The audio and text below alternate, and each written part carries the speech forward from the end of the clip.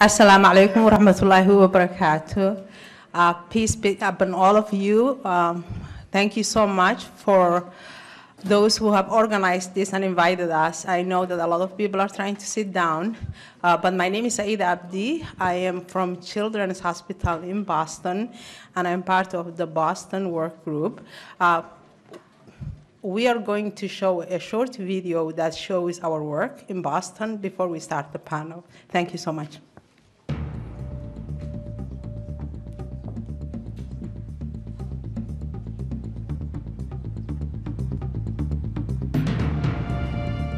Think reducing recruitment to violent extremist groups is one of the most complicated endeavors we could possibly engage in. My own cousin, uh, who lived in Europe, uh, we came to find out, joined ISIS. They managed to recruit him, and he's in their territory, wherever they are. We don't know whether he's alive or dead. I am a Somali mother who are raising children in Boston. My kids were born in Boston.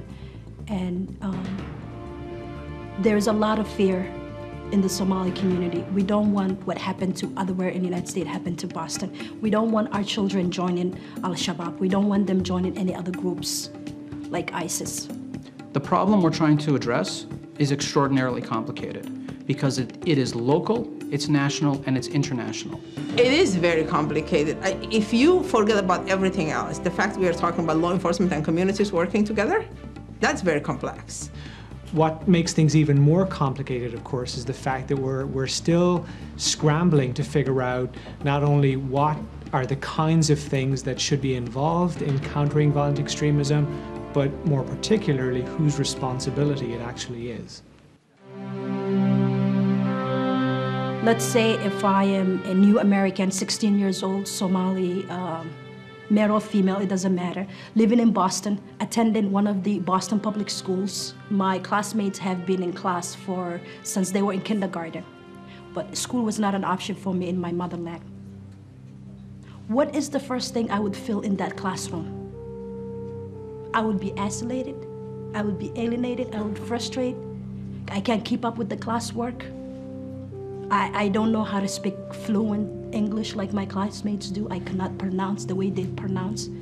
So what, what would I do as a 16-year-old new American? I would automatically feel like this environment, I don't belong to this environment. So what am I gonna do? I'm gonna find an environment that I belong to. a nice place to turn is a place with other people who feel that they've, they themselves have been wronged or marginalized. Trauma is, uh, is a factor. With my work with youth and our research, actually, we found that trauma makes youth more vulnerable to all kinds of bad outcomes. They don't really understand that this is really a risky business, that folks who are on the other side of where they're going uh, are dead serious about getting them engaged in lethal activities. The groups of people who are the most vulnerable to recruitment, the groups of people who are the most vulnerable to becoming radicalized, are not from one particular community. They are not from one segment of society. They are from a cross section. If you listen to people who will tell you that there is a specific profiling of an individual, you make a grand mistake. It's the students who try to connect, who want to connect, and don't connect, that are the most vulnerable. I think one of the obstacles to building effective CVE programming over recent years has been has been lack of trust, and I completely understand why that might be the case. There is a huge fear that this is going to stigmatize the community, but more importantly, it's going to stigmatize youth who right now may already feel alienated and lost, and now are going to feel, well, is everyone going to look at me like I'm a terrorist? The biggest difficulty that we face is finding the middle ground in between uh, the community and uh, government. We are competing with people who have the resources, billions of dollars to convince our kids to provide them a better opportunity. Uh, we don't talk about this enough. When we talk about prevention, we're talking at different levels of prevention. And so, are we talking about the kid who is on, getting on an airplane, or are we talking about how do we uh, work with the younger kids so that they don't become vulnerable? There's no silver bullet. What works today may not necessarily be what works tomorrow. With the right amount of enthusiasm, it is something possible to accomplish. it's all about the local context. It's about finding out what is driving the problem in your own backyard and working with your own local partners to figure out what the most appropriate solution and intervention might actually look like. As the U.S. Attorney, I've been tasked with really marshaling the efforts uh, of this pilot program. It's a true partnership uh, about building trust. I've been a part of experiences where law enforcement has come together with religious groups. You know, the government has a role. It can support the institutions run and function, but it is the people who take upon themselves to make a difference. The approach has to be inclusive. We don't want to take an exclusive approach because it will backfire. When we talk about prevention and intervention services, we take away some of the stigma. On prevention side, thinking about putting in place, for example, in schools and in communities, uh, support for youth who have gone through tra- trauma, who may have PTSD, would be a wonderful way to stop this. Community have to be empowered to lead this initiative because if a mother is in trouble, she feels comfortable co- to connect with me. I would challenge those pastors to come out of the four walls of their sanctuaries and meet the youth where they were. When someone goes to their place of worship, they want to feel like that they have the opportunity to debate with friends, talk about issues that are on their mind, vent even a little bit, and not be worried that they're being constantly monitored or there's some surveillance going on or there'll be some reporting of, uh, of whatever ideas they bring into that safe space. I think we need to do a far better job of inoculating our children from the kinds of messages and narratives that are being pushed out there by extremists and the organizations from which they come. The more that we can help children when they're younger and help families support those students, the more likely, likely we are to have success. Uh, youth are embedded in communities. They are born into it. They're raised. Community has access to youth that no one else does.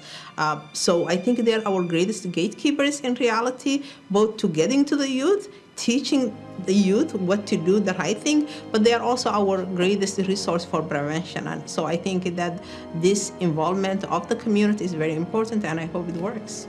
Our goal is really to empower the community to do the work that it needs to do and really to help us to promote public safety.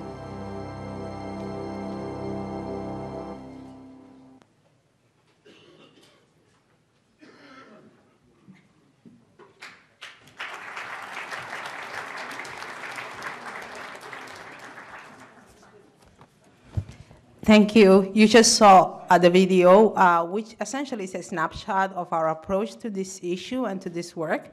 Now, I would like to introduce and call to the podium our U.S. Attorney Carmen Ortiz, who led this project in a way that is both sensitive and is very um, inclusive. Thank you.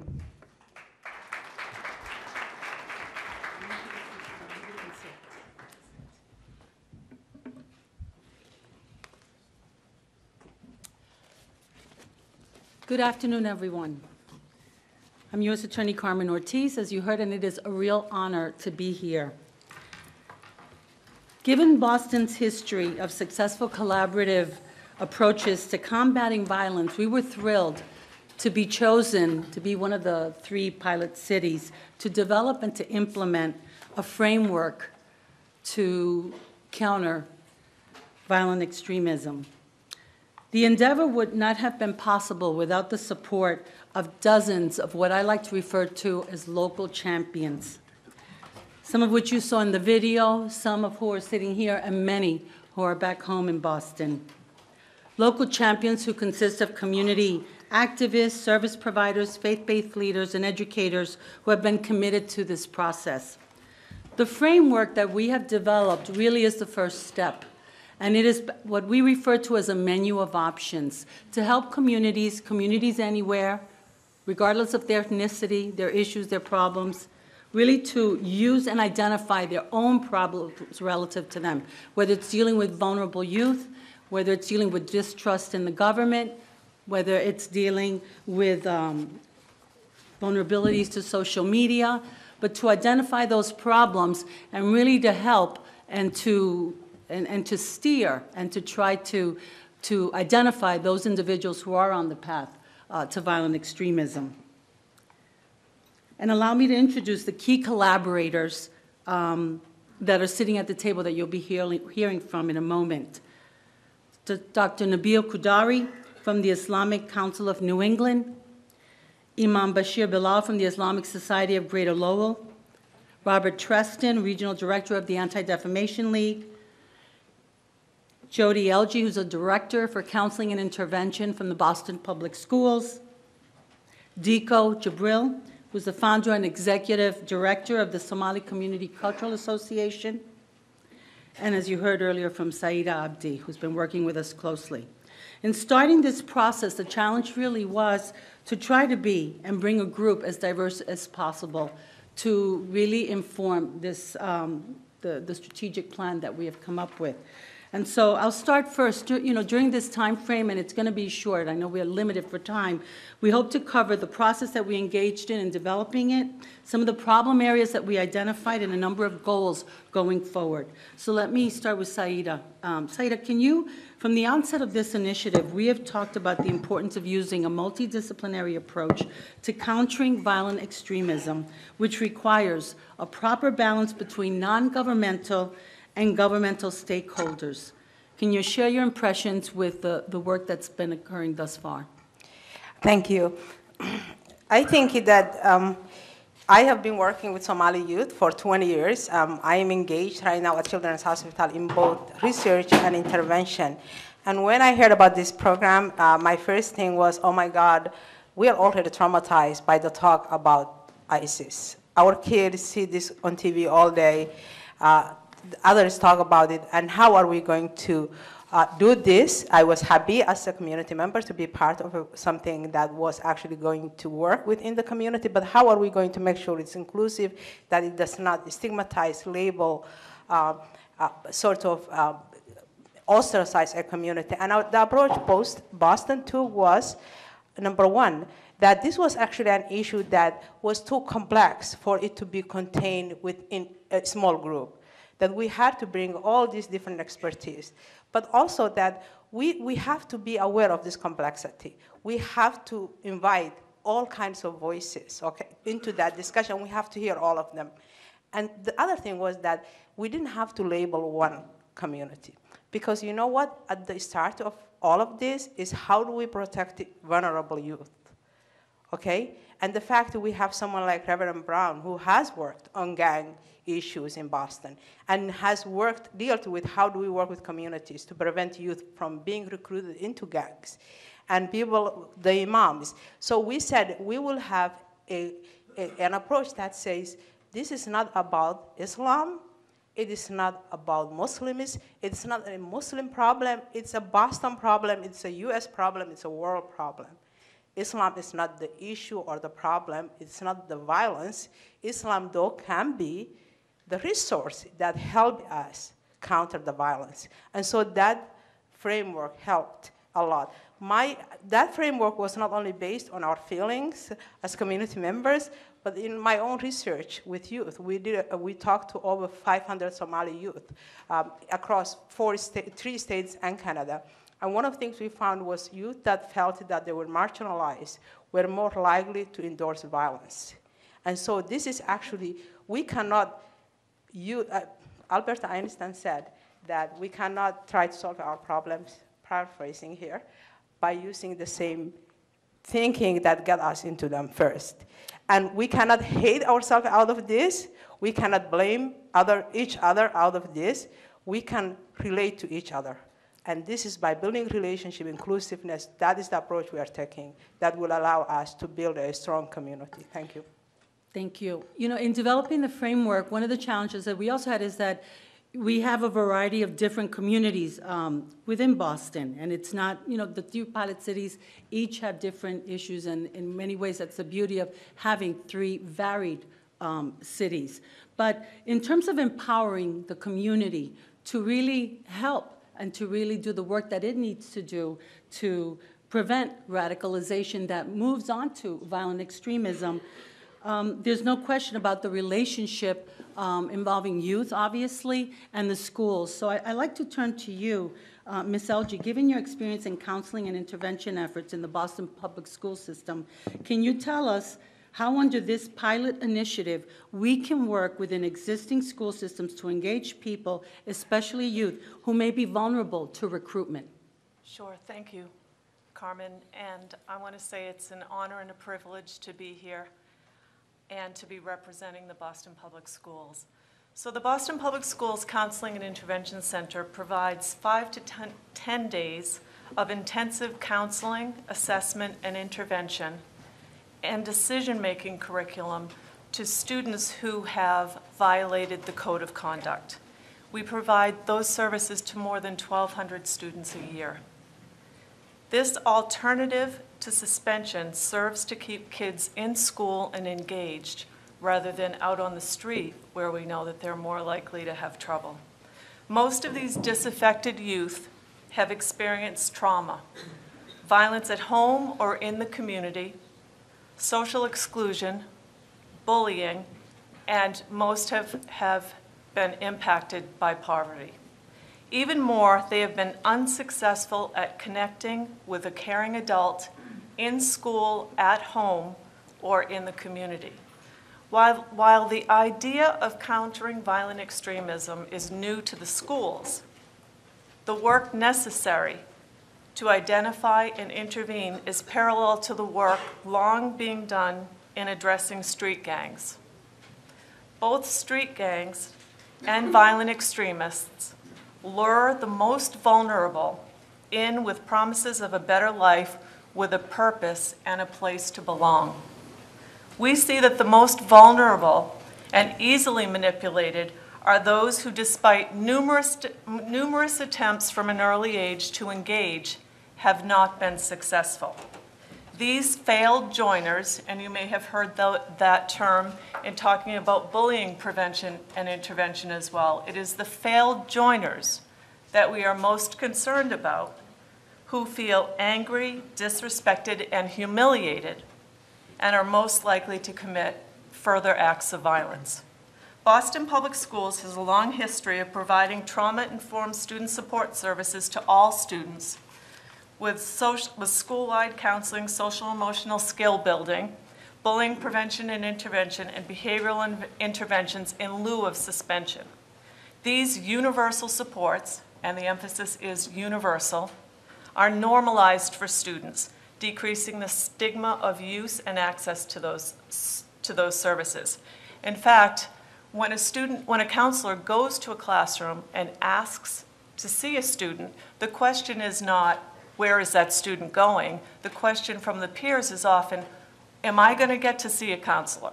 So it has become such normalized in the, in the, the, the actual fiber of the Boston Public Schools itself. Preventing and intervening in the cycle of violence requires early engagement with families and caregivers. The development of relationships and trust to connect with schools takes time. By providing culturally relevant opportunities for families and caregivers through currently existing forums. So we don't have to recreate the wheel here. We just have to use the forums that are, that are currently in place.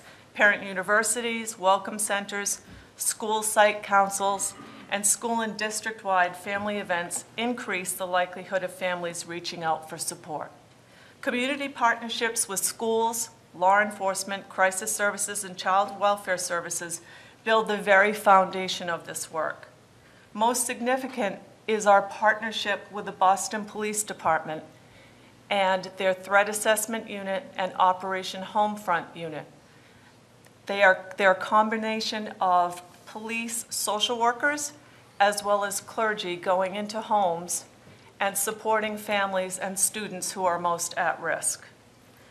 Parents have actually reported great appreciation for these programs, and those who were most reluctant to have the pastors and the police come into their home, once they're there, they, they talk for hours and sometimes call back and ask for interventions for their other students. So they really see it as a support service rather than a police action, and that, that is the intention. Normalizing the involvement of these partners before punitive measures are taken builds, helps to build positive relationships and trust within the community. Finally, this work takes resources and commitment from districts and municipalities. However, In this area of measuring success and accountability through testing, support services are often the first to be cut. This leaves a gaping hole for the most vulnerable students to be manipulated by those seeking to recruit them to do harm. Thank you. Thank you, Ms. Elgin. I, I'm going to move it along. bec- um, We are really um, limited with time. So, Mr. Trestan, given the role, you- we're focusing on social media, that's another, obviously, and there's been a lot already said about that today. So if you could just briefly um, comment in terms of, uh, with respect to the pilot initiative, can you talk about the goals and solutions that we've considered as part of our pilot program? One of the things that the Boston group identified was, uh, as a problem area, was social media. And it's something that everyone in every community has access to.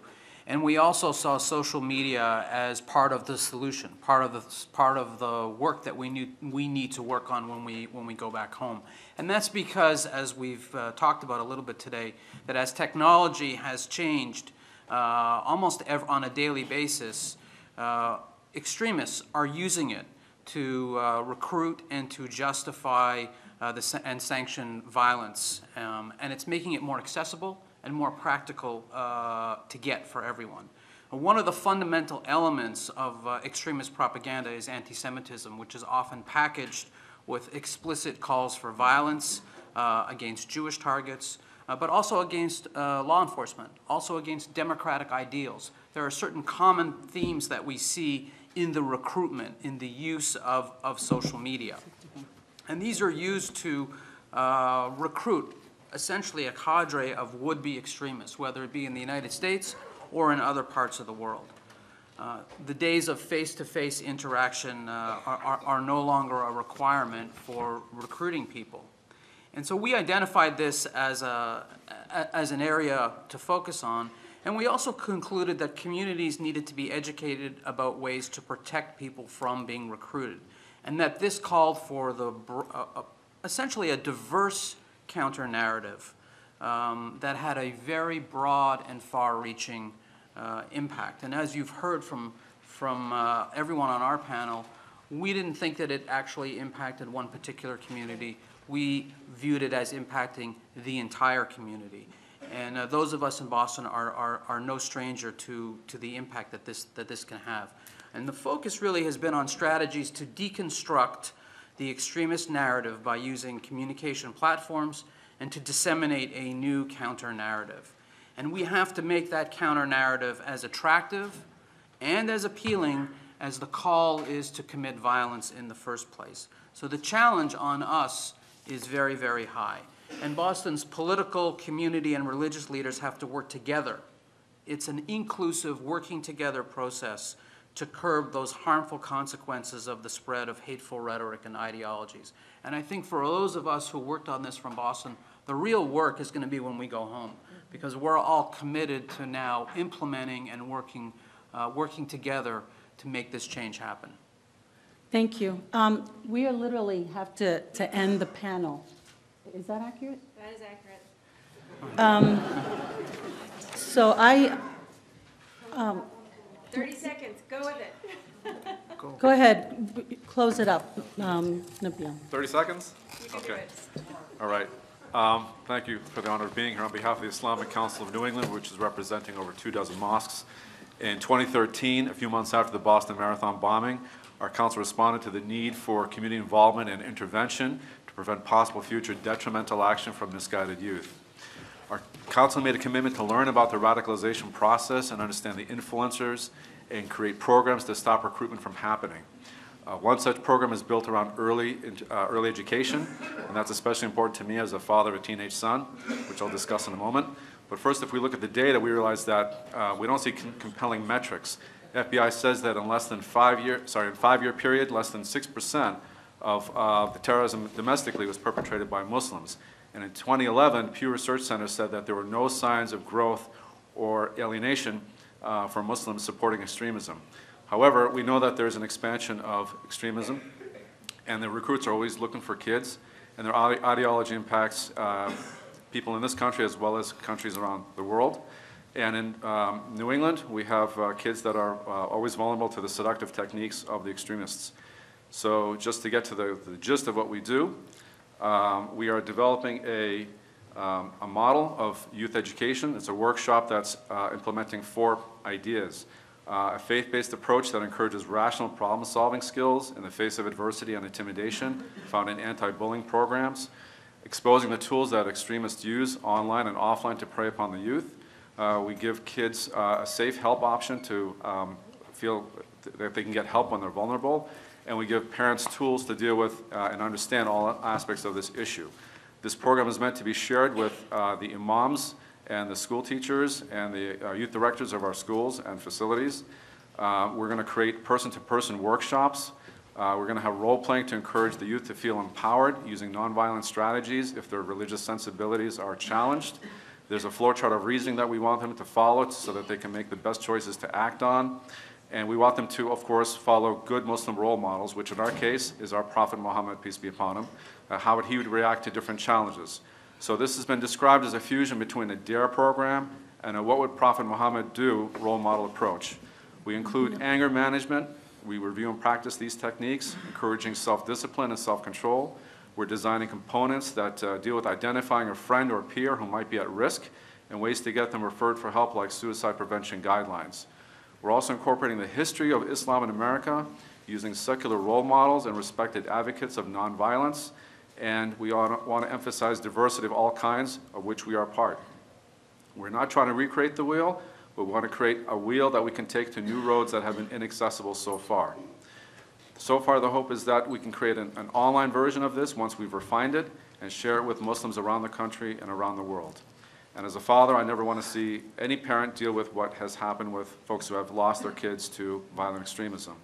In conclusion, Islam is not to blame for the threat of violent extremism luring our youth, but it can be and it will be a solution for helping them become spiritually educated and morally strong to resist the impulse of violence. When I was touring Washington, D.C. earlier today with my son, and yesterday too, it was uh, apparent that the values of our founding fathers were just like the values of my father and his father before him. And it was a reminder that Islamic values are shared with American values. And as we have become a community that is Boston strong, we're going to work as Muslims with our fellow citizens to become America strong. As, on behalf of the Islamic Center and the uh, Islamic Council of New England, I thank you very much for supporting our work. Thank you so much. Thank you. Thank you, everyone. Thank you to all of our panels from Boston, from Minnesota, from Los Angeles. We have about 23 minutes left before we have to get prepared for our keynote speaker.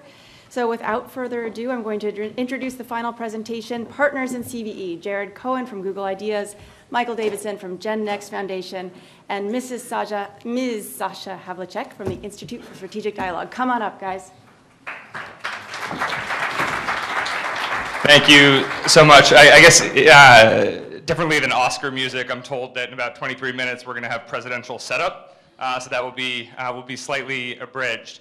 Uh, the focus of, of, this session is to highlight a partnership between Google Ideas, the Institute for Strategic Dialogue, and the Gen Next Foundation on using technology to counter violent extremism online and offline. But before we do that, I want to say a little bit about why Google Ideas is tackling the challenge of violent extremism as a supplement to the excellent work that you heard from my colleague, Victoria Grant. Uh, about four and a half years ago, uh, Eric Schmidt and I stood up Google Ideas based on this assumption that we wanted the company to be proactive about the intersection of technology and some of the most complicated, difficult global security challenges. And we wanted to build an engineering and product team that could also create tools that could be used to address them. And it's interesting, you hear government talk a lot about needing to organize around challenges like violent extremism. It's the same in the private sector. Google Ideas falls in sort of a unique place within a corporate environment in the sense that the challenges we focus on, from repressive societies to illicit networks to violent extremism, don't fall in an obvious core business box or an obvious uh, uh, corporate social responsibility slash philanthropy box. They occupy a new space uh, around international security uh, and business. And when we started, really the first challenge that we started to focus on was, was violent extremism. And just as we would in a product organization, we began with our uh, convening power to try to break down the problem in a way that was sufficiently concrete for our engineers to try and troubleshoot. So we convened a summit against violent extremism in June of 2011, where we brought together about 100 former violent religious extremists, uh, former violent far-right extremists, former gang members, and former violent nationalists, literally from dozens of countries. We also brought together survivors, technologists, NGOs, and public policy leaders. And what we were struck by is how similar the radicalization process was across each of these different contexts and how much they hated being compared to each other uh, because it, it, took away from each of them what they thought was exceptional and remarkable about themselves and broke it down as these are violent organizations that basically exploit children. And when we remove the mass of religion and ideology that these violent extremists cultivate, what we were found with is there's a dangerous and exaggerated sense that the root cause of all this is religion. And you heard my colleague Victoria Grand say earlier that really what we found is they're offering young people a sense of empowerment, an outlet for adventure, enhanced status, and a group to belong to. And so in many cases, they're really starting as broken souls who eventually get access to some pretty dangerous tools. And that's really the problem that we're, we're confronting. And then the second observation we came away with from this before I turn it over to Sasha and Michael is around technology. You know, it's so easy to use technology as a lightning rod. But in actuality, what we found from our research with formers and others is that more connectivity is not fueling radicalization, it's quite the opposite. You know, if you go back to the not so distant past, um, there used to be a veil of secrecy around the radicalization process. It would happen in caves, in places completely off the grid, and there weren't the opportunities that we have for intervention today. Now, terrorists have been practicing their physical tactics for the last 1,500, 2,000 years. Their digital tactics are much newer, much less seasoned, and we have much more expertise than they do. And so this is pointed to us as a huge vulnerability. Um, so I'm going to turn it over to Sasha and Michael, who are going to talk about a remarkable action network that came out of the Summit Against Violent Extremism, which focuses on taking advantage of one of the best assets we have, uh, which is the fact that violent extremists are vastly outnumbered by those who oppose it. And that's even more the case online. So I'm pleased to introduce you to Sasha Havlicek, who's the CEO of the Institute for Strategic Dialogue. Sasha, over to Jared, you. Jared, thank you so much, and I'm honored. I know we have to do this in fast forward. So very quickly, um, we're delighted and we're excited to, to share with you some of the tools that we've developed to counter extremism across ideologies with you. I should just start by saying that as a think tank that's worked to counter extremisms of all forms over the last 10 years, the most innovative and the most effective work that we've done to date has been as a result of these kinds of private sector partnerships, perhaps unsurprisingly. We need more of them. So just a couple of words about the problem before, um, before we, we, we get started. I'll let you take a look at this quote. Anybody recognize it? So interestingly, this is a statement made as far back as 2002 by Osama bin Laden. And what it says is that long before ISIS, extremist groups have understood the strength of soft power. And they were extremely quick to understand the opportunities in this regard that the digital era presents. They understand how to hypercharge their messaging. They've got a head start on us. Now, we all know very well that ISIS could give masterclasses in branding and peer to peer social media marketing.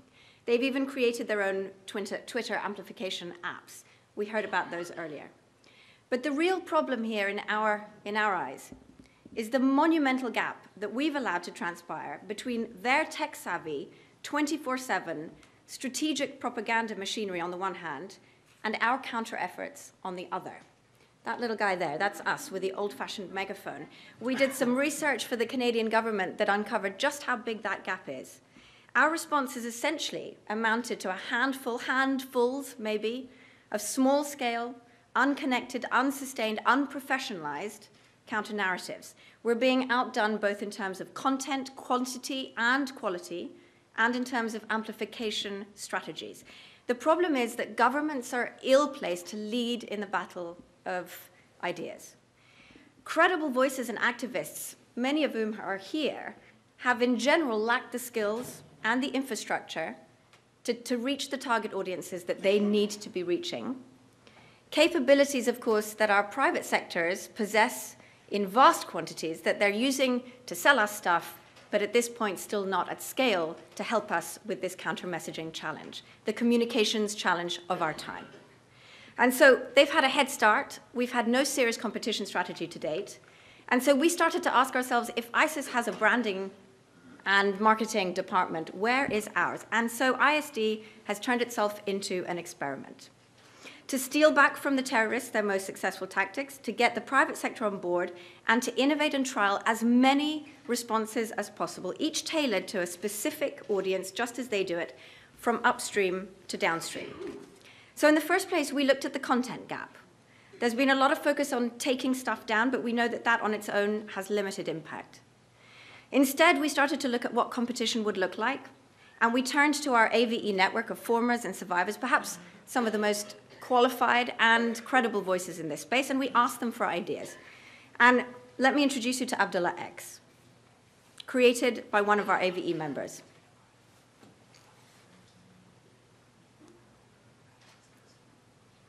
No, it's not working. I'm going to move on.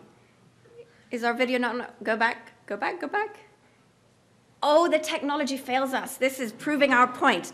Never mind. Let me tell you, let me tell you what we've learned from Abdullah X. The video you can find on YouTube. He has his own channel, so I, I direct you there. So what we've learned. Credible content is absolutely crucial, but on its own, it doesn't do the job.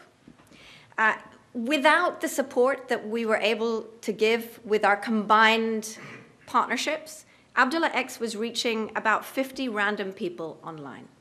As part of a pilot that we did um, with a, an EU working group that we co-chair with Google Ideas, we were able to hypercharge that counter-narrative. And what that meant was inserting Abdullah X into the very spaces extremists were using, just as they have started to occupy the spaces that we hang out in. It meant anchoring this extremist, this content to extremist Twitter accounts, posting it on extremist pages, having it pop up whenever you searched for jihad in Syria. And within just a few months, this went from reaching just those 50 random people to 100,000 of our target group, and that is individuals searching to go to Syria for jihad. And so we now know what can work because we can measure the engagement that Abdullah X has had with our target group online. We have that data. And of course, in a way, perhaps the best, um, the, the best indicator of Abdullah X's success was the five page refutation that it incited, an urgent refutation at that, from ISIS. So, what we've learned most importantly, I think, is that this isn't about vanity metrics. This is not, in fact, about going viral. We don't need to reach a, a million of you. We need to reach thousands perhaps of the individuals really at risk and being radicalized.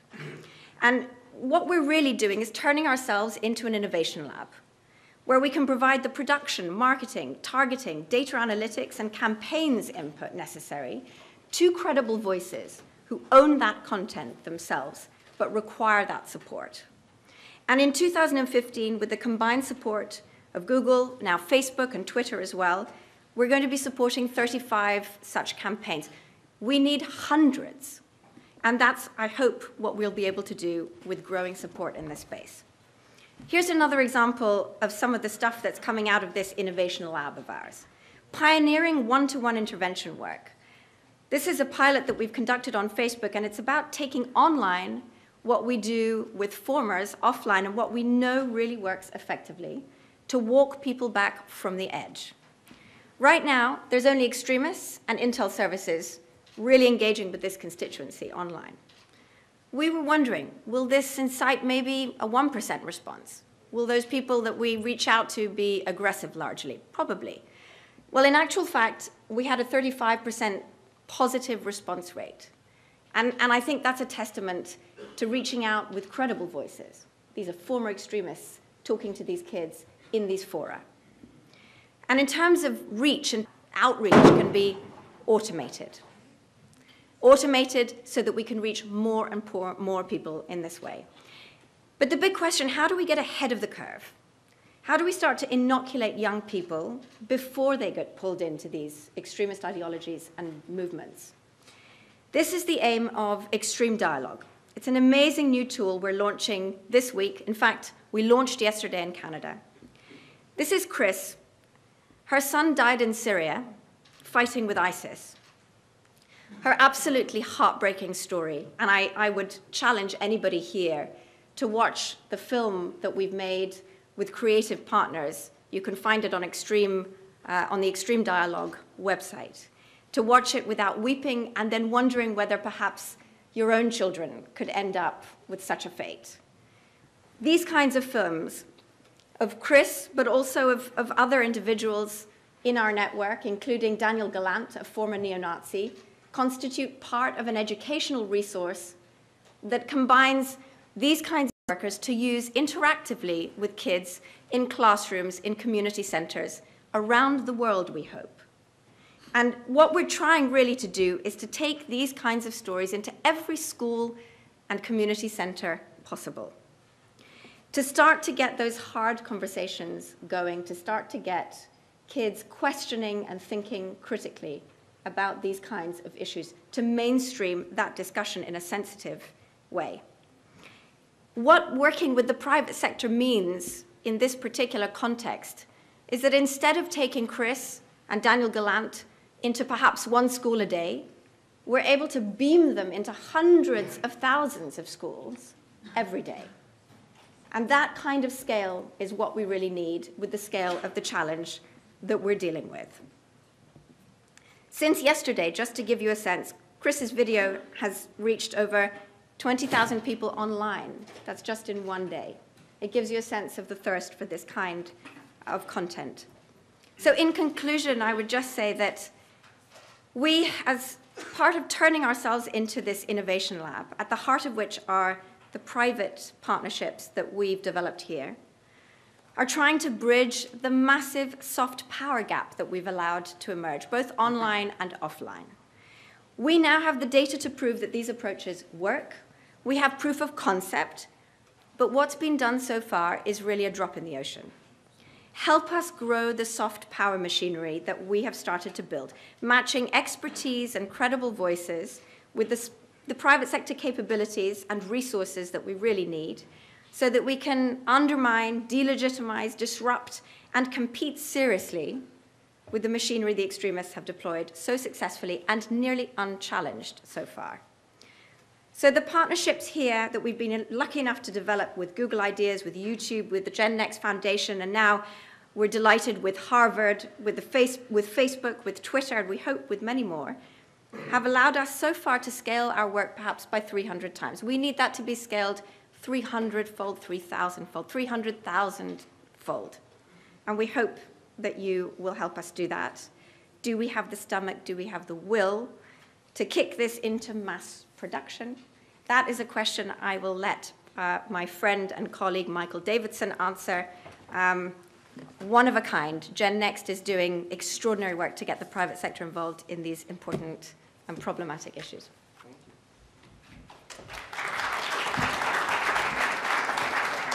All right, thank you. Uh, for the sort of private sector philanthropy guy, it's pretty cool to be at the White House talking about this type of an issue. Uh, and it's incredible to work with these two. Um, and just to be in a room with all of you gives me quite a bit, a bit of a burst of energy. Uh, I want, though, to direct my comments to anybody from the private sector or philanthropy sector uh, that is in the room uh, that will be happen to be watching C-SPAN or television, uh, or who you know and hopefully you could relay this message to them. Uh, our organization, the Gen Next Foundation, uses a venture philanthropy model to basically do two things. We look for very long-term, lasting impact ideas, and we put them in the hands of business and thought leaders to make them a reality. Now, why do I, am I why am I attracted to this type of a calling? Uh, one is I really believe that ideas have consequences. Uh, number two is I really like people. Uh, but number three, and most importantly, is I really love my kids. I have uh, two twin girls that are almost uh, five months old. Yeah, crazy. And I also have a son who's five years old. And when I think about sort of my life's ethos, there's a quote that I love, and it's when it comes to the future, there are three types of people. There's those who let it happen, there are those who wonder what happened, and there's those who make it happen. Um, and that sounds really good, and I tend to think of those moments when I'm think of that issue when I'm when I'm watching my daughters roll over for the first time, or I'm watching both of them look at me, and I think about what their future is going to be and what what role am I create, playing and creating it. Uh, and I also think about it when my son asks me repeatedly what it's like to be Superman. Now, I may or may not have helped him disclose my natural and real identity as Superman. Um, but when he asks me about that, I then will usually, uh, it's in the mornings when I get to spend that time with them. And then I start to think about, I start to read the news shortly afterward, and I read about beheadings, and I read about crucifixions, and I read about uh, crazies taking over a school and killing children. And suddenly I don't really like being Superman. It's, you feel helpless, you feel hopeless, uh, it's confusing, and often it's natural to be very afraid. This enemy is resilient, they're driven, they're agile, and they happen to be using tools that we as a free society created. So when you think about the response, you need people in the free society who are resilient and agile and driven to take them on. There is a real opportunity for entrepreneurs and philanthropists to lead the way on this issue. Uh, philanthropists need to find a way to put money at work in a very long-term focus, and it's unnatural in the philanthropy sector. They also need to find a way to take risks, because when you're dealing with CVE, there's a lot of risk. Uh, entrepreneurs you know, really need to think about their time, talent, and treasure uh, and dedicating this as a cause. It's not very natural to think about what you do to create jobs and what you do to make money is also something that you could do in countering violent extremism. And just as a couple examples, you would never expect a San Diego entrepreneur who has an online agency and does digital strategy to do for counter extremism what he does for Nike. Or just here in the corner is Joe Marchese from New York. Uh, well, he's a man of the country, he's a man of the world, but he's from New York. Uh, but he has a business that will completely upend the way we look at advertising. He knows how to sell ideas, and he's here because he cares about selling ideas to save people's lives. We need more people like him. And we need more people like us to challenge them. It's, again, not natural for them to think about being part of this as a cause. Sometimes when I have those moments when I'm doubting myself as Superman and I'm reading the news and it's really frightening, I'll think to myself, I really hope the government can figure that out. I just want to elect the right person. And I think that matters.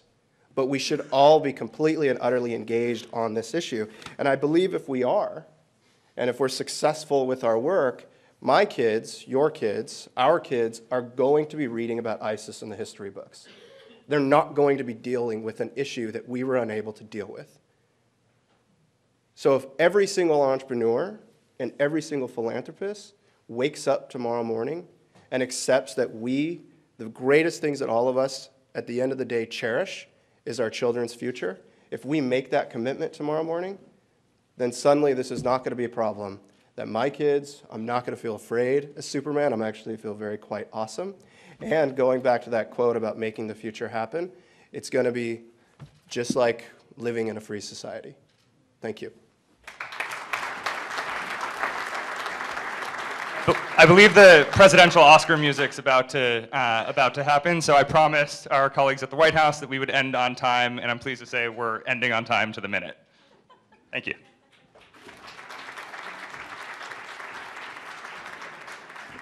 Well done. Thank you so much. Thank you to everyone who appeared on our panels today.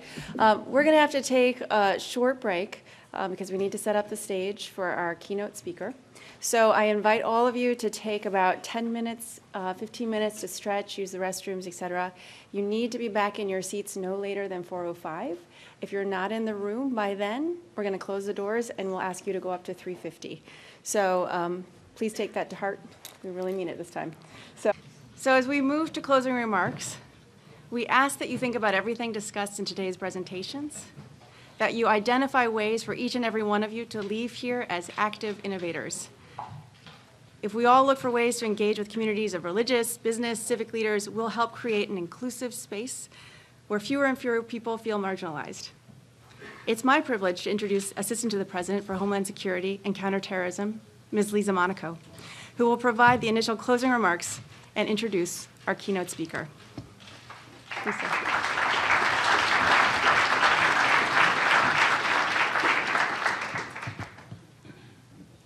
Well, good afternoon, everyone.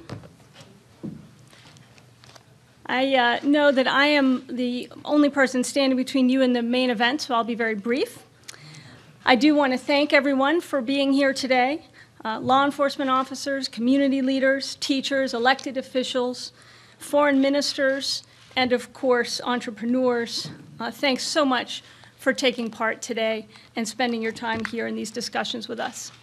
This summit focuses on domestic and international efforts to prevent terrorist attacks, like those, of course, that we've seen most recently in Copenhagen, in Paris, Boston, and Sydney, and which sadly occur daily in places like Nigeria, Iraq, Syria, and beyond. Here in the US, though, thanks to the tireless efforts and sacrifices of our men and women in uniform, to our diplomats and intelligence personnel and law enforcement officers, since 9 11, our defenses have been hardened, plots have been disrupted, and alliances have been strengthened.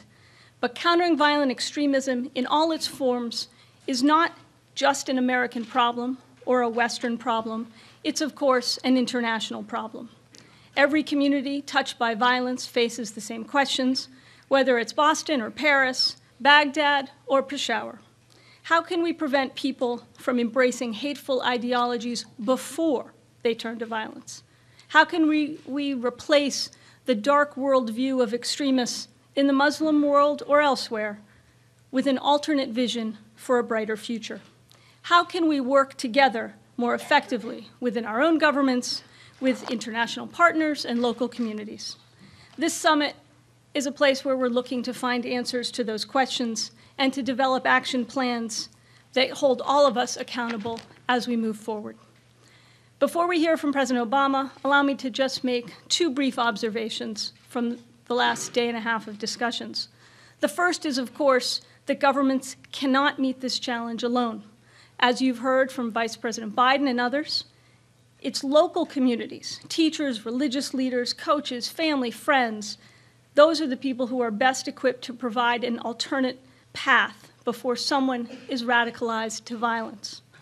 While governments can help, ultimately the solutions will have to be rooted and found in local communities. The second point I want to emphasize is that countering violent extremism is a constantly evolving challenge. We've got to keep refining our approach so we can respond to new threats. We can't just rely on traditional tools when we're dealing with internet savvy terrorists who reach across oceans with the click of a mouse, extremists who exploit young people using Facebook and Twitter.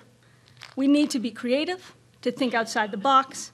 We need to leverage our vast intellectual talents, our creativity, our innovative uh, efforts and spirit, our technical know how to take on extremist bankrupt ideologies.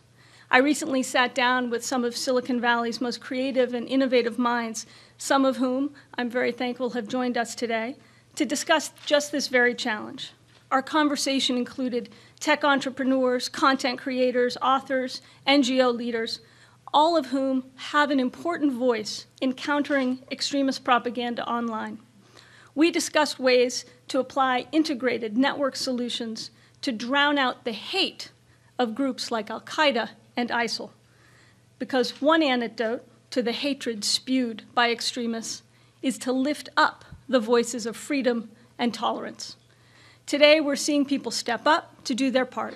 And looking ahead, I challenge tech and social media communities to expand these efforts, to give young people more opportunities to raise their voices above the noise of extremists. So there's plenty of work to do, and I hope the past two days have done as much to inspire you and to energize all of you as they have me. We are going to count on each one of you uh, for your good ideas and your leadership going forward. And now I have the distinct honor of introducing someone who has been laser focused on making countering violent extremism a central part of our counterterrorism strategy from his very first days in office, including by developing the first government wide strategy to prevent violent extremism here at home. Ladies and gentlemen, please join me in welcoming the President of the United States, Barack Obama.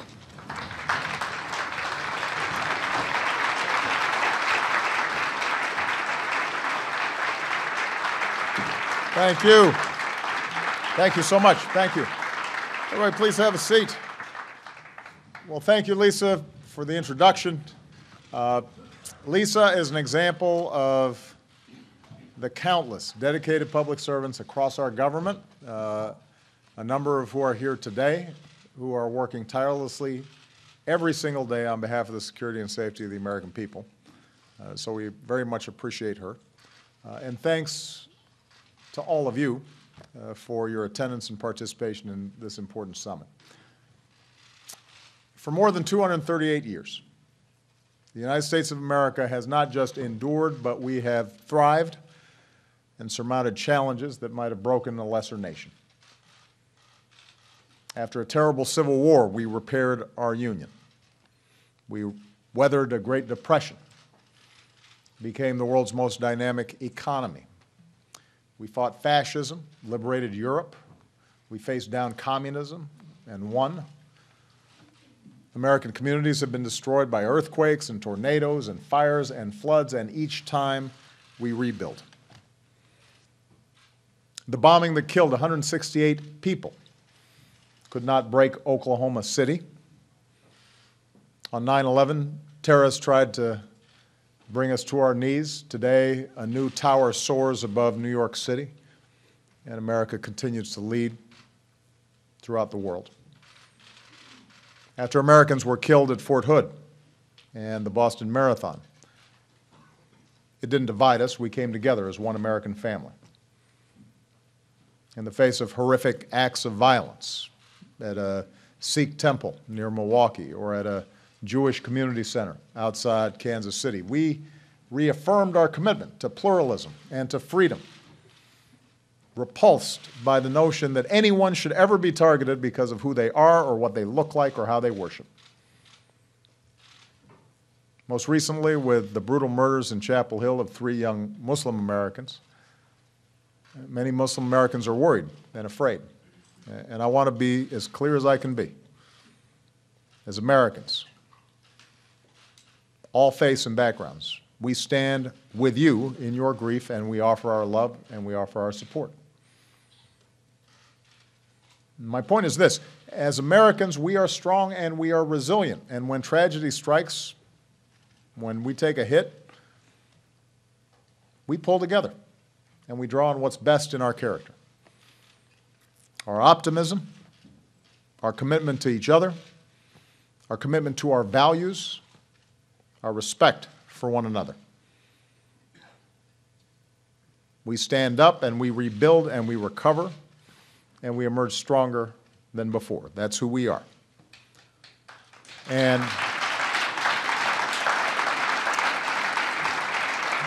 and I I say all this because we face genuine challenges to our security today, just as we have throughout our history.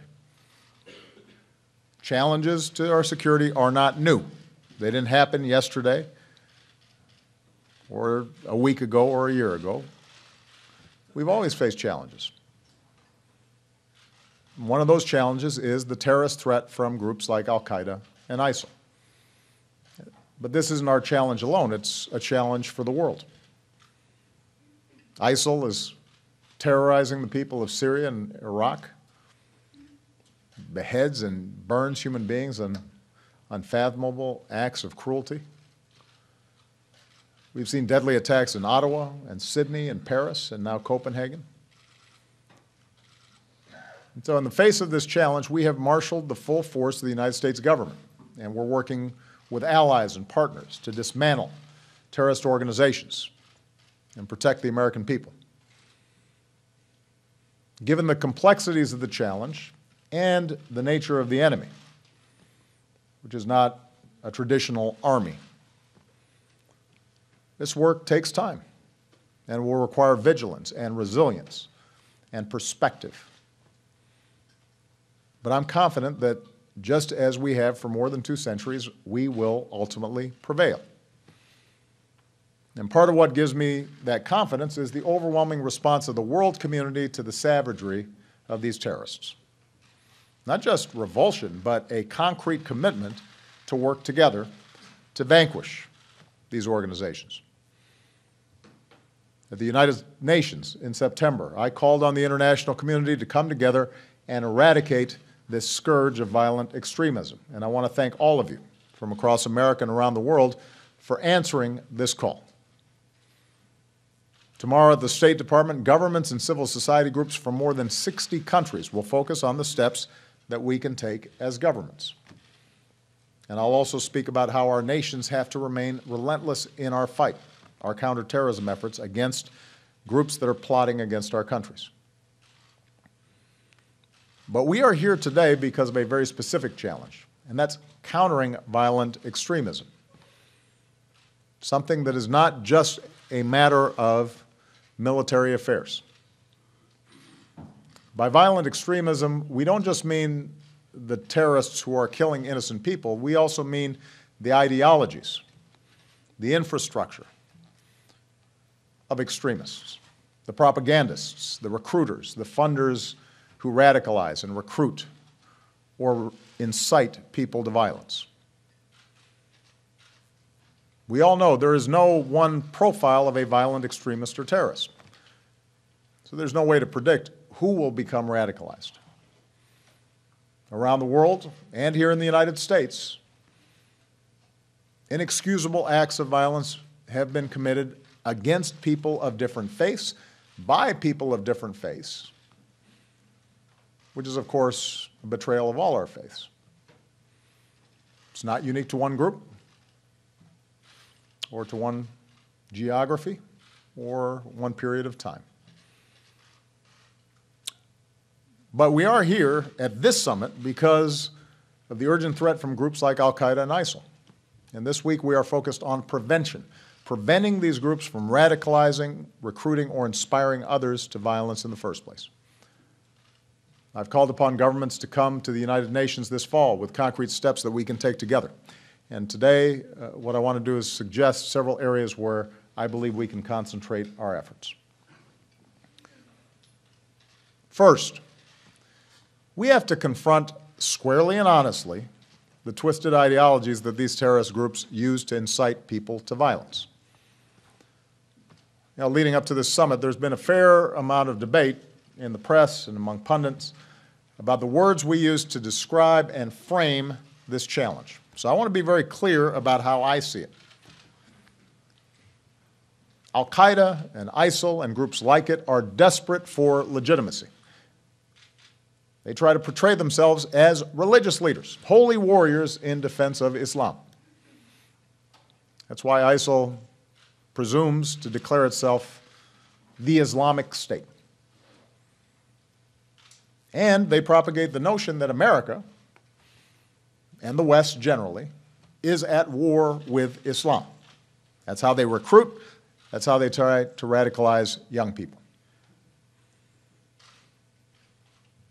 We must never accept the premise that they put forward because it is a lie. Nor should we grant these terrorists the religious legitimacy that they seek. They are not religious leaders, they're terrorists.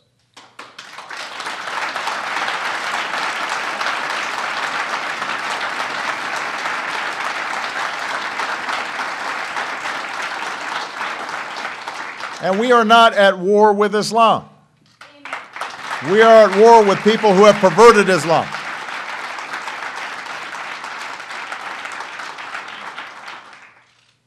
Now, just as those of us outside Muslim communities need to reject the terrorist narrative that the West and Islam are in conflict or modern life and Islam are in conflict, I also believe that Muslim communities have a responsibility as well. Al Qaeda and ISIL do draw selectively from the Islamic texts.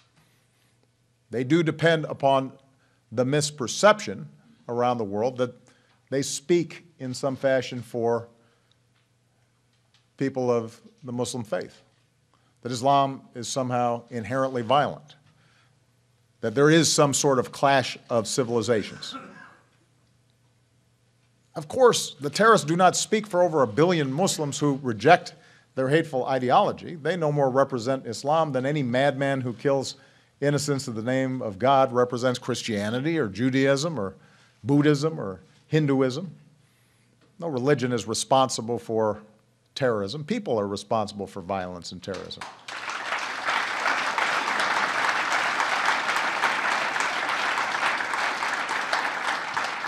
And to their credit, there are respected Muslim clerics and scholars, not just here in the United States, but around the world, who push back on this twisted interpretation of their faith. They want to make very clear what Islam stands for. And we're joined by some of those leaders today.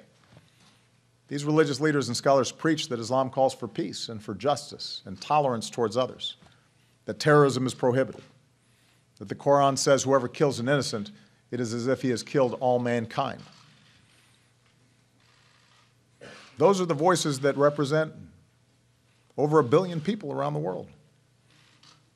But if we are going to effectively isolate terrorists, if we're going to address the challenge of their efforts to recruit our young people, if we're going to lift up the voices of tolerance and pluralism within the Muslim community, then we've got to acknowledge that their job is made harder by a broader narrative that it does exist in many Muslim communities around the world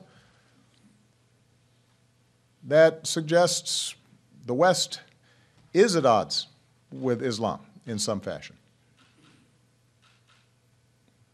The reality, which again many Muslim leaders have spoken to, is, is that there's a strain of thought that doesn't embrace ISIL's tactics, doesn't embrace violence, but does buy into the notion that the Muslim world has suffered historic grievances. Sometimes that's accurate. Does buy into the belief that so many of the ills in the Middle East flow from a history of colonialism or conspiracy. Does buy into the idea that Islam is incompatible with modernity or tolerance, or that uh, it's been polluted by Western values. And so those beliefs exist. Uh, in some communities around the world, they are widespread. And so it makes individuals, especially young people who already may be disaffected or alienated, more ripe for radicalization. And so we got to be able to talk honestly about those issues. We've got to be much more clear about how we're rejecting uh, certain ideas.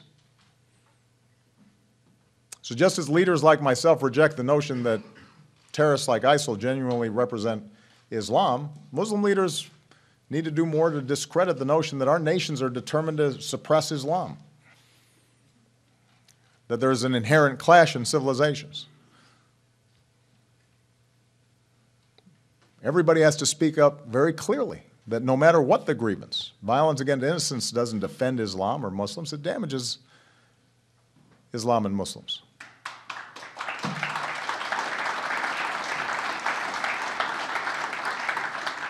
And when all of us together are doing our part to reject the narratives of violent extremists, when all of us are doing our part to be very clear about the fact that there are certain universal precepts and values that need to be respected in this interconnected world, that's the beginnings of a partnership. As we go forward, we need to find new ways to amplify the voices of peace and tolerance and inclusion. And we especially need to do it online. We also need to lift up the voices of those who know the hypocrisy of groups like ISIL firsthand, including former extremists. Their words speak to us today. And, and I know in some of the discussions, these voices have been raised. I witnessed horrible crimes committed by ISIS. It's not a revolution or jihad, it's a slaughter. I was shocked by what I did. This isn't what we came for to kill other Muslims. I'm 28. Is this the only future I'm able to imagine? That's the voice of so many who were temporarily radicalized and then saw the truth. And they've warned other young people not to make the same mistakes as they did. Do not run after illusions. Do not be deceived. Do not give up your life for nothing. We need to lift up those voices. And in all this work, the greatest resource are communities themselves, especially like those young people who are here today. We are joined by talented young men and women who are pioneering new innovations and new social media tools and new ways to reach young people. We're joined by leaders from the private sector, including high-tech companies who want to support your efforts. And I want to challenge all of us to build new partnerships that unleash the talents and creativity of young people, young Muslims, not just to expose the lies of extremists, but to empower youth to service and to lift up people's lives here in America and around the world. And that can be a calling for your generation. So that's the first challenge. We've got to, we've got to discredit these ideologies. We have to tackle them head on.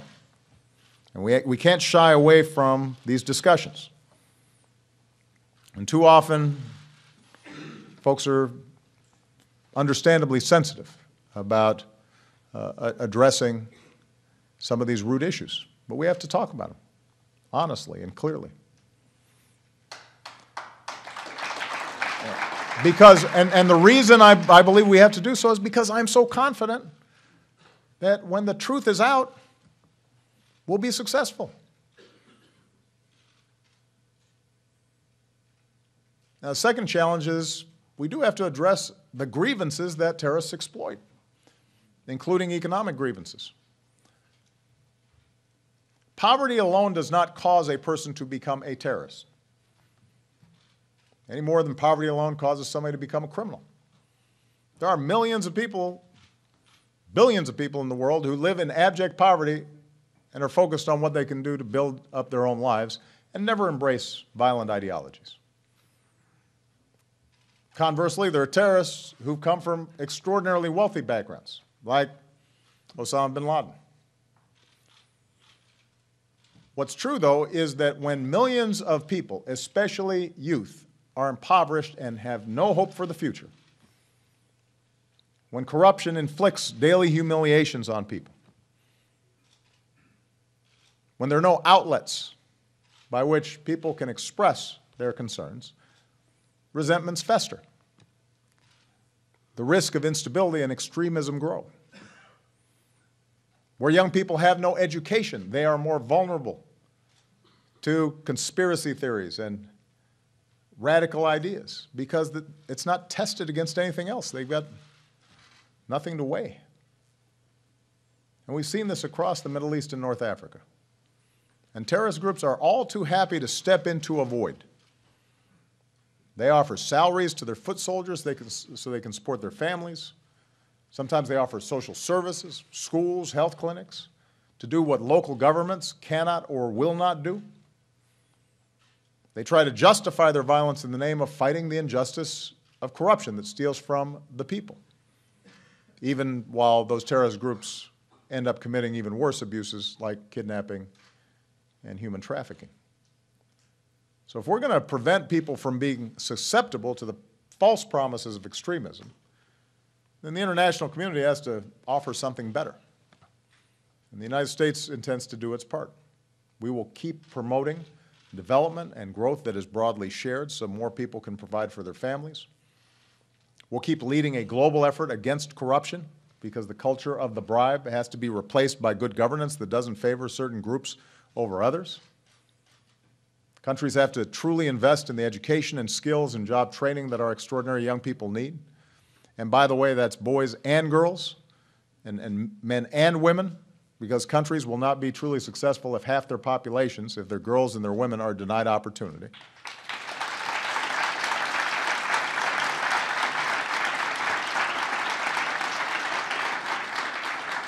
And America will continue to forge new partnerships in entrepreneurship and innovation and science and technology. So young people from Morocco to Malaysia can start new businesses and create more prosperity. Now, just as we address economic grievances, we need to face a third challenge, and that's addressing the political grievances that are exploited by terrorists.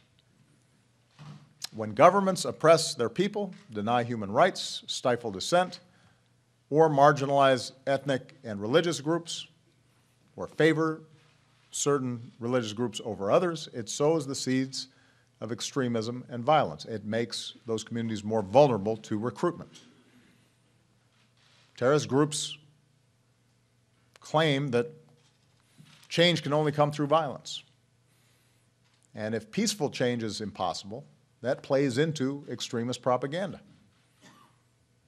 So the essential ingredient to real and lasting stability and progress is not less democracy, it's more democracy. It's institutions. It's institutions that uphold the rule of law and apply justice equally. It's security forces and police that respect human rights and treat people with dignity. It's free speech and strong civil societies where people can organize and assemble and advocate for peaceful change. It's freedom of religion, where all people can practice their faith without fear and intimidation.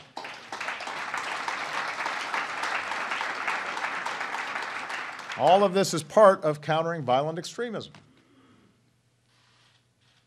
Fourth, we have to recognize that our best partners in all these efforts, the best people to help protect individuals from falling victim to extremist ideologies, are their own communities, their own family members. We have to be honest with ourselves. Terrorist groups like Al Qaeda and ISIL deliberately target their propaganda in the hopes of reaching and brainwashing young Muslims, especially those who may be disillusioned or wrestling with their identity. That's the truth. The high quality videos, the online magazines, the use of social media, terrorist Twitter accounts, it's all designed to target today's young people online in cyberspace. And by the way, uh, the older people here, as wise and respected as you may be, your stuff is often boring compared to what they're doing. You're not, you're not connected. And as a consequence, you are not connecting. So these terrorists are a threat, first and foremost, to the communities that they target, which means communities have to take the lead in protecting themselves. And that is true here in America as it's true anywhere else. When someone gets, starts getting radicalized, family and friends are often the first to see that something's changed in their personality. Teachers may notice a student becoming withdrawn or struggling with his or her identity. And if they intervene at that moment and offer support, that may make a difference. Faith leaders may notice that someone's beginning to espouse violent interpretations of religion. And that's a moment for possible intervention that, that allows them to think about their actions and reflect on the meaning of their faith in a way that's more consistent with, with peace and justice. Families and friends, coworkers, neighbors, faith leaders, they want to reach out. They want to help save their loved ones and friends and prevent them from taking a wrong turn but communities don't always know the signs to look for, or have the tools to intervene, or know what works best. And that's where government can play a role if government is serving as a trusted partner. And that's where we also need to be honest. I know some Muslim Americans have concerns about working with government, particularly law enforcement. And the reluctance is rooted in the objection to certain practices where Muslim Americans feel they've been unfairly targeted. So in our work, we have to make sure that abuses stop, are not repeated, that we do not stigmatize entire communities. Nobody should be profiled or put under a cloud of suspicion simply because of their faith.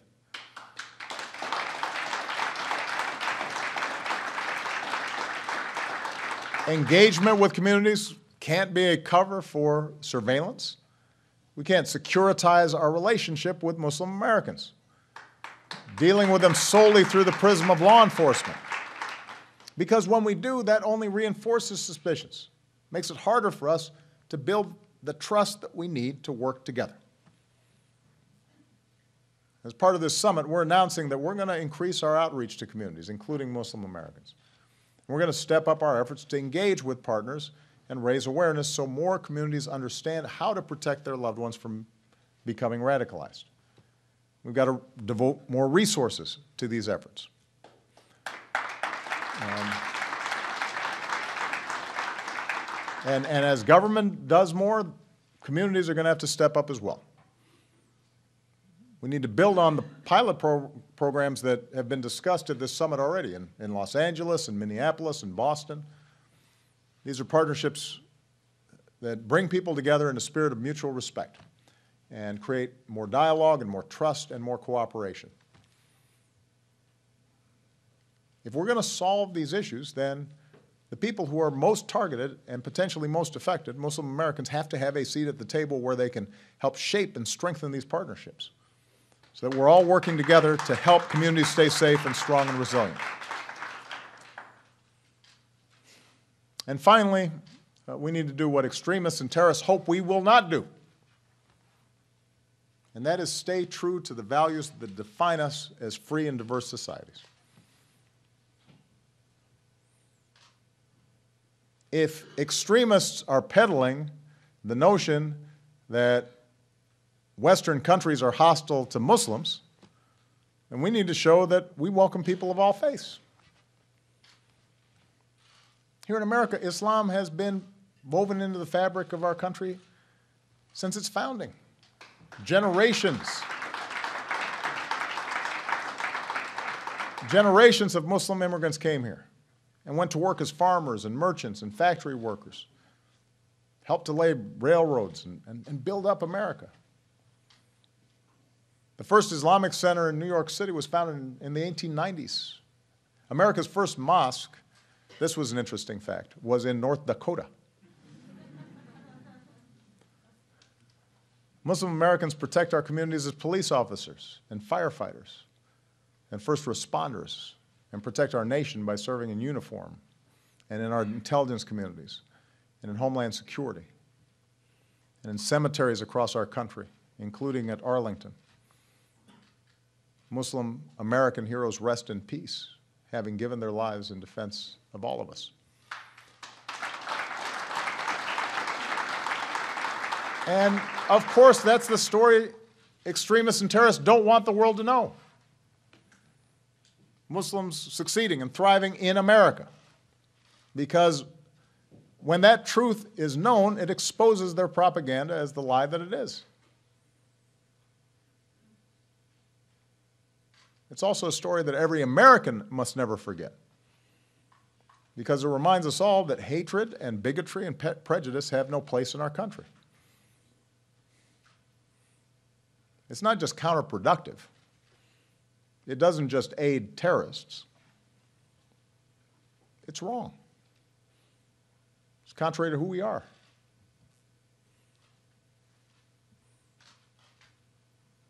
I'm thinking of a little girl named Sabrina who last month sent me a Valentine's Day card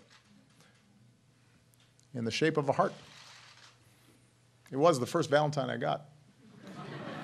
I got, got it from Sabrina before Malia and Sasha, and Michelle gave me one. So she's 11, she's 11 years old. She's in the fifth grade. She's a young Muslim American. And she said in her Valentine, I enjoy being an American. And when she grows up, she wants to be an engineer or a basketball player, which are, are good choices. But she wrote, uh, I am worried about people hating Muslims. If some Muslims do bad things, that doesn't mean all of them do. And she asked, please tell everyone that we are good people and we're just like everyone else. Now,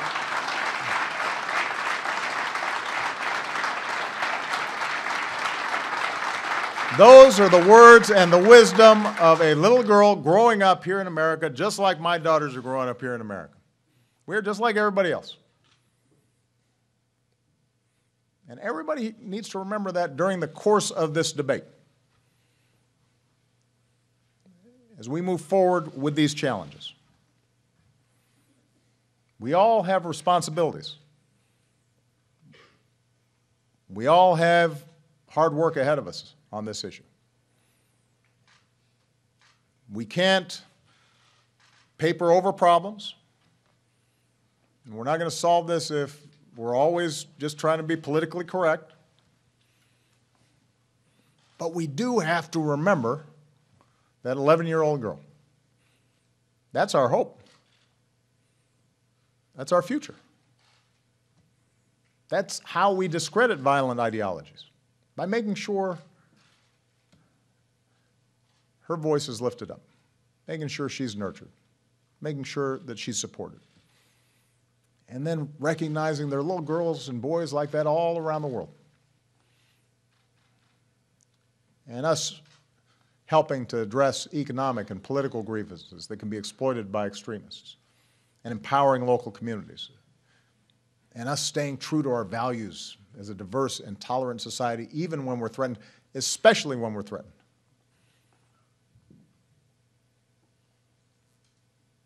There will be a military component to this. There, there, there are, are savage cruelties going on out there that have to be stopped. ISIL is killing Muslims at a rate that, that is, is many multiples uh, the rate that they're killing non-Muslims. Everybody has a stake in stopping them, and there will be uh, an, an element of, of us just stopping them in their tracks with force. But to eliminate the, the soil out of which they grew, to make sure that we are giving a brighter future to everyone and a lasting sense of security, then we're going to have to make it clear to all of our children, including that little girl in fifth grade, that you have a place. You have a place here in America. You have a place in those countries where you live. You have a future. Ultimately, those are the antidotes to violent extremism. And that's work that we're going to have to do together. It will take time. This is a generational challenge. But after 238 years, uh, it should be obvious, uh, has overcome much bigger challenges. And we'll overcome the ones that we face today. We will stay united and committed to the ideals that have shaped us for more than two centuries, including the opportunity and justice and dignity of every single human being. Thank you very much, everybody.